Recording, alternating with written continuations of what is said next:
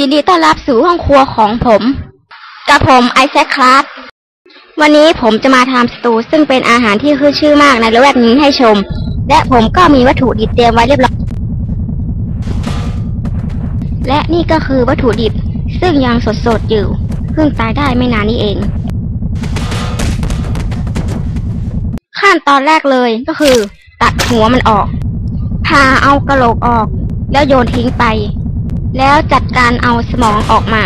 ใส่ลงไปในถังไว้ก่อน ยังไม่หมด ต้องเอาติ่ง ซึ่งเป็นส่วนที่อร่อยที่สุดออกมาด้วย แล้วเอาใส่ถังรวมกัน และที่สำคัญ เมนูนี้จะขาดสิ่งนี้ไม่ได้เลย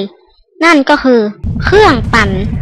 เอาสมองกับติ่งใส่ลงไปเลยครับ สมองใหญ่ชิบหอยเลย ยัดไม่ลง แล้วก็ปั่นเข้าด้วยกัน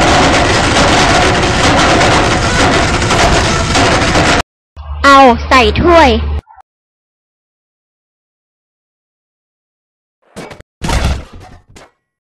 เอาไปแดกซะ